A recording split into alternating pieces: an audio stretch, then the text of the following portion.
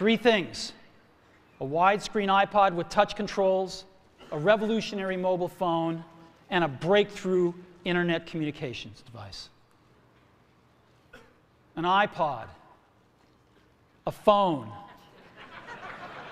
and an internet communicator. An iPod, a phone. Are you getting it? These are not three separate devices. This is one device. And we are calling it iPhone. Today, today Apple is going to reinvent the phone. When Steve Jobs introduced the original iPhone back in 2007, most people said this will be a complete failure. A phone with the keyboard on a screen that you touch with your finger made out of glass? But little did they know that the iPhone would change the entire mobile phone industry. Fast forward 10 years and we're at the iPhone 7. But that's not the topic of today's video. Today we're talking about the iPhone 5S.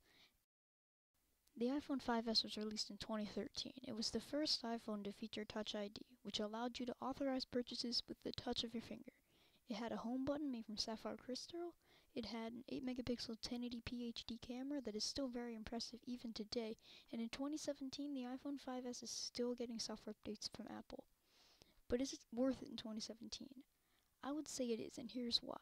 For just $125 today, you can get an unlocked iPhone 5S running the latest version of iOS, iOS 10, and you can expect it to be able to get iOS updates up to iOS 11, 12, and maybe even 13 though there's no solid evidence about that.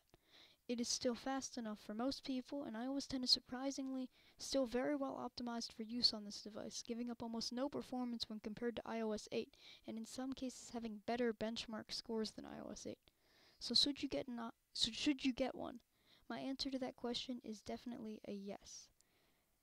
With that being said, thank you for watching, and if you like this type of content, subscribe and get notified whenever I upload videos by clicking the bell. Stay tuned for next week's video about the iPhone 5.